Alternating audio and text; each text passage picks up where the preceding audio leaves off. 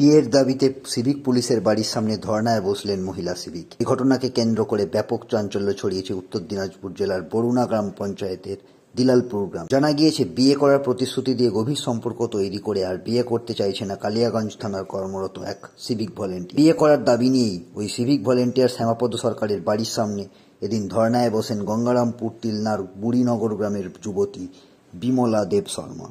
এই ঘটনায় শোরগোল পড়ে যায় এলাকা গত কয়েকদিন ধরে গঙ্গারামপুরের মহিলা সিভিক ভলেন্টিয়ার বিমলা দেব শর্মার সাথে ঘনিষ্ঠভাবে মেলামেশা করে কালিয়াগঞ্জ থানার কর্মরত সিভিক ভলেন্টিয়ার শ্যামাপদ সরকার। বিমলাকে বিয়ের প্রতিশ্রুতি দিয়ে ঘনিষ্ঠ সম্পর্কে জড়ায় তারা দুজন। এরপর বিমলা জানতে পারে, তাকে ছেড়ে শ্যামাপদ অন্য একটি মেয়ের সাথে বিয়ে রেজিস্ট্রি করে।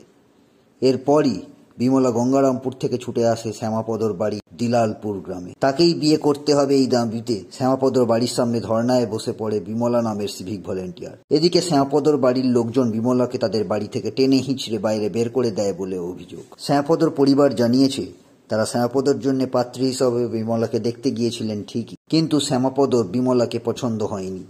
তাই এই সম্পর্ক নিয়ে বেশি দূর এগোয়নি।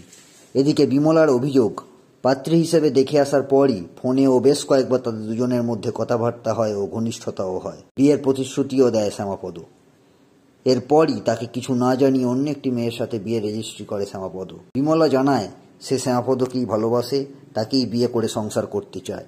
তাই শ্যামাপদর বাড়িতে ধর্নায় বসেছে। যতক্ষণ না শ্যামাপদ বিয়ে করছে, ততক্ষণ ধর্নায় বসে থাকবে সে। এই ঘটনা নিয়ে ব্যাপক সরগোল পড়ে গিয়েছে কালিয়াগঞ্জের দিলালপুর গ্রামে। ছেলের পছন্দ নেই, আমি পছন্দ করছিলাম। ছেলে যখন পছন্দ হয় নাই তাহলে তো আর করার কিছু নেই।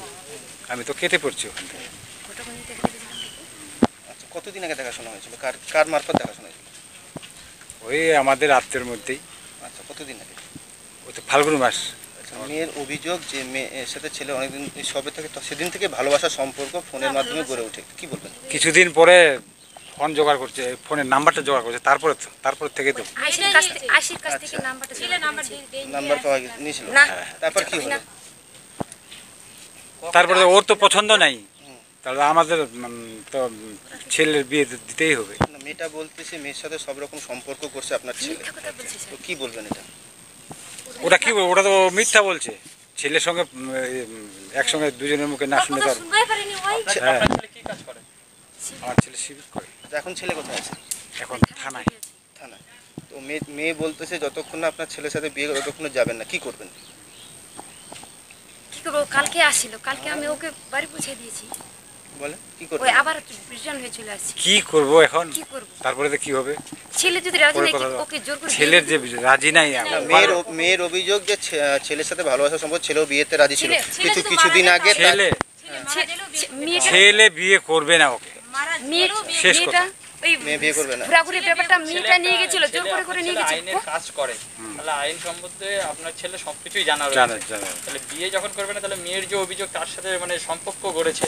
তাহলে সেটা সম্পর্ক করে ওটা ভুল ওটা ভুল ওটা ছেলের ওটা আমি ছেলের মুখ মেয়ে মেয়ের কথা দিয়ে মানবো না। ছেলের ছেলে যখন বলবে তখনই শুনবেন।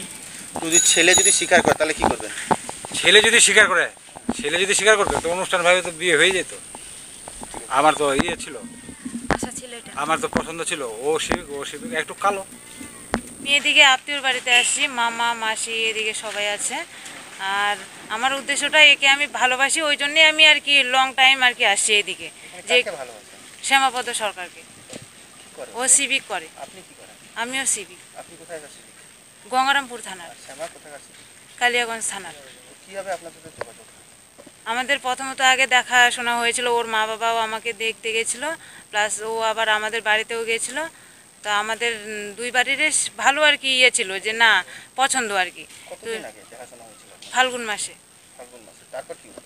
তারপর আমরা যোগাযোগ করি ফোনে ফোনে যোগাযোগ করে ওই ও- আমি আর কি নাম্বারটা ওর নেই।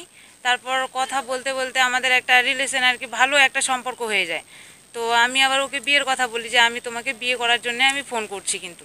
আর আদার্স আমার কোনো ইয়া নাই আর কি ডিসিশন নেই যে আমার টাইম পাস কিংবা বন্ধুত্ব এরকম কোনো আমার উদ্দেশ্য নয় আমি তোমাকে বিয়ে করার জন্য ফোন করছি আর কি।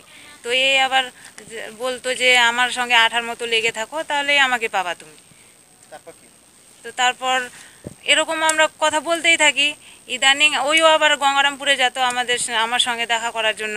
আমিও এখানে আসলে ওর সঙ্গে দেখা করতাম।